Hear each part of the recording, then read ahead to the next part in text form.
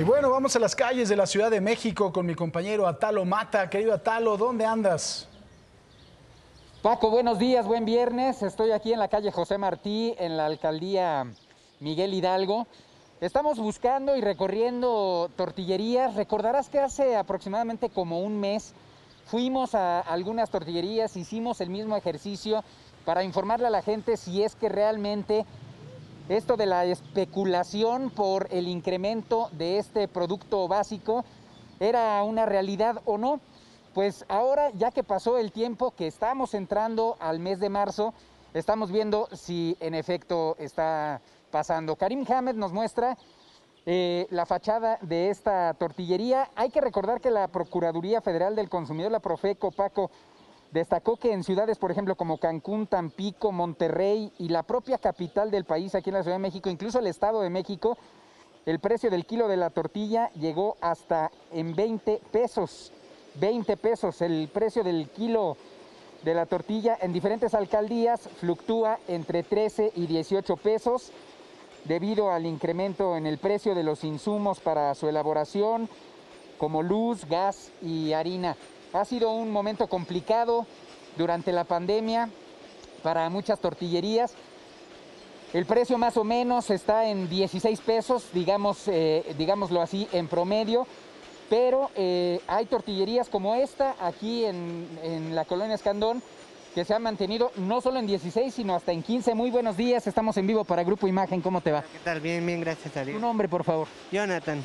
Oye, Jonathan, platicábamos hace un momento, eh, abordábamos el tema, no ha sido fácil para las tortillerías mantener el precio porque todo ha subido, a ustedes también les suben las cosas, entonces tendrían motivo suficiente para subir el precio de la tortilla del kilo. Sí, sí, sí. Eh, a cada instante nos están subiendo lo que es la harina, el maíz en el molino también lo suben y pues hemos tenido que estarnos manteniendo por ahorita para no afectar la economía de la demás gente. Pero sí, a cada ratito nos están subiendo el producto de, que utilizamos para las tortillas. Ahora, por ejemplo, el gas, la luz, todo eso, incluso hasta la renta aquí, ¿verdad? Ustedes también se ven ahorcados en algún momento. Sí, sí, sí, el gas ahorita ya está como en 14 pesos el litro, la renta pues sí está la verdad un poco elevado y cada, cada año nos están subiendo la renta también. Eh, manteniendo el precio a 15 pesos, ¿sí está saliendo o, apenas, apenas si salimos con, con, el precio que estamos dando, la verdad. ¿Dan ganas de subirle de repente? Sí, sí, sí, dan ganas porque la verdad no alcanza. No alcanza para, para los gastos que se deben de hacer aquí. ¿Las autoridades qué les dicen? Que nos mantengamos, que por el momento nos tenemos que mantener con el precio actual. Pues muchas gracias, Jonathan. No, de qué gracias. Buenos días y buen fin de semana. Vamos a seguir recorriendo también algunas otras tortillerías para ver si encontramos algunos otros locales, Paco, que sí han querido de repente especular, abusar del precio, abusar de los clientes.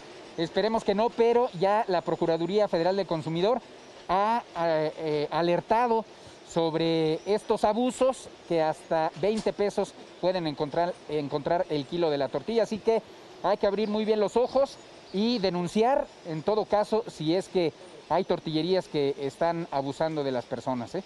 Sí, mi querido Atal, ojalá que haya una vigilancia muy estricta de las autoridades. Ese aroma de las tortillerías ya se me antojó, mira. Qué rico. No me está viendo. sal? Un poquito de sal y así. Ay, qué... O requesón. Y... ya hace hambre.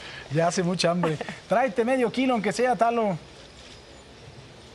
Medio kilo, se me hace que es poquito, ¿eh? porque todos ahí en la producción me han dicho, me han platicado que son de buen comer, Paco, así que les voy a llevar unos tres kilitos a ver si con eso ya Somos de buen diente, sí, la verdad. Oye, pero habría que ver también el tema, y ahorita lo platicábamos, Paco, la inversión, cuánto se requiere para tener un establecimiento como este, un comercio como este, una tortillería, porque dice apenas estamos saliendo dando el kilo a 15 pesos, me parece, ¿verdad, Talo? 15, 16, ¿no? 15, 16. 15 pesos. 15. Sí, y sí tienes razón, Cristal, porque Aquí enfrente, en, la contraesquina de esta tortillería, hay un mercado. Y también nos dice Jonathan, el encargado de esta tortillería, que a veces tienen ganas de subirle el precio, obviamente pues compiten entre tortillerías, y el de la tortillería de adentro del mercado a veces le quiere subir 16, 17 pesos, pero no se anima porque Jonathan o el dueño de esta tortillería dice que se va a mantener para no eh, abusar y que no sean denunciados en algún momento y que la gente sigue, siga viniendo. Entonces, pues ellos también se mantienen en el precio y van a esperar hasta que de alguna forma la Procuraduría Federal del Consumidor o la Secretaría de Economía les permitan aumentar tantito el precio de la tortilla. Eso se llama libre mercado, mi querido Atalo. Te mando un fuerte abrazo. Efectivamente, Paco. Muy buenos días y gracias. Buenos días. Se me hace que ya se está comiendo una Sí, tortilla, porque ¿eh? Lo veo que mueve, mueve el diente, mira, anda- mueve la anda boca. moviendo el bigote detrás de Sí. ese cubrebocas. Oye, estábamos platicando de algo que es muy importante. En este momento está presionado el precio del maíz Sí. y está presionado de forma importante porque obviamente no estamos teniendo la producción suficiente. No estamos comprando maíz de Estados Unidos que está también caro porque ellos lo utilizan para la fabricación de etanol. Aquí en México hay un desarrollo que se llama Vitala de un hombre, de un ingeniero agrónomo, Manuel Ollarvides. Y que no conocemos, Paco, muchos, No, ¿eh? es una maravilla, Es una porque es un super maíz mucho más resistente, no es transgénico, lo está apoyando Bayer en este caso, y están haciendo un maíz mucho más resistente que en el momento en que se pueda sembrar en todo territorio nacional, vamos a tener precio del maíz más barato. O sea, que las que características como cuáles serían, Paco, para que sea más... Es más chaparrito, más resistente, tiene más mazorcas. La verdad es que es una maravilla. Búsquenlo ahí en internet, se llama Vitala de Manuel Ollarvides. Pues ahí está otra opción entonces. ¿Para qué no nos suban tanto el Así precio de la tortilla, por favor? Bueno,